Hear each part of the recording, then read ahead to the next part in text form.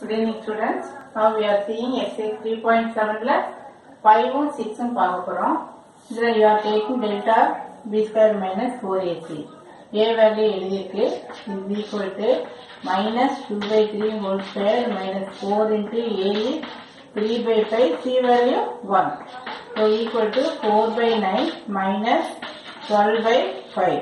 So if you take LCM 45 just cross multiply 5 fours are 20 minus 108. So if you subtract you will get minus 88 by 45. So this is uh, less than 0. Since it is less than 0, you are taking the second point, no real roots. The roots are not real, that is imaginary. So no real roots. Then, even in the last class, I have not written the answer, but you have to write the answer because for this answer one mark, then when you write the answer of the roots, you are getting one mark. So uh, definitely you have to subtract and write the answer. Here you have to multiply.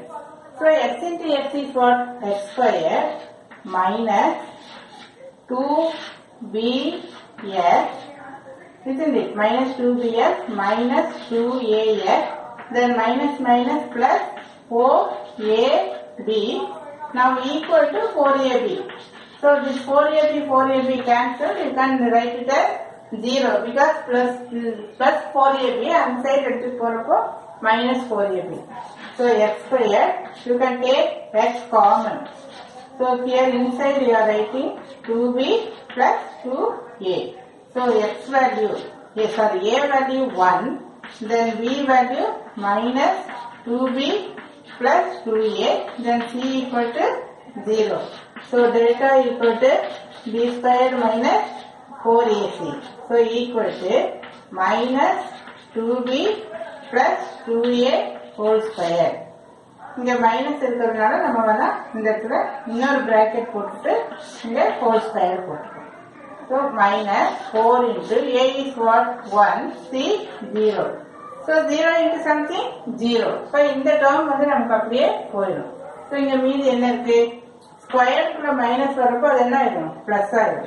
So இது அப்படியே நம்ம என்ன எடுக்கலாம் two b plus two a whole square whole square வந்தவே கண்டிப்பா அது வந்து positive so நமக்கு greater பாசிட்டிவ்னா என்னது? Greater than zero So greater than 0 வந்துன்னா we are writing roots of real and distinct distinct அப்படின்னு எழுதலாம் அல்லது unequal அப்படின்னு எழுதலாம் So this uh, these two questions come and come under uh, two two mark questions uh, and compulsory question கூட இந்த மாதிரி question எல்லாம் கம்பல்சரி கொஸ்டின்ல கேட்கறதுக்கு வாய்ப்பு இருக்கு ஸோ இது நல்லா கோ த்ரூ பண்ணுங்க அதுல மெயினா பாத்தீங்கன்னா இந்த கொஸ்டின் இந்த கொஸ்டின் இன்னும் ப்ரீவியஸா இந்த ஃபோர்த் சம்மன் ஒன்று எடுத்தோம்.